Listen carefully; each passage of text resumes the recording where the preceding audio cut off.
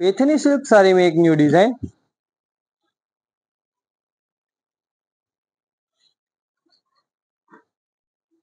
ये पल्लू है beautiful tassel work के साथ।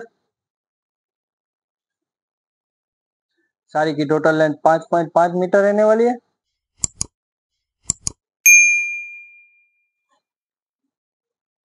ऑल ओवर साड़ी में जरी वीविंग वर्क रहने वाला है।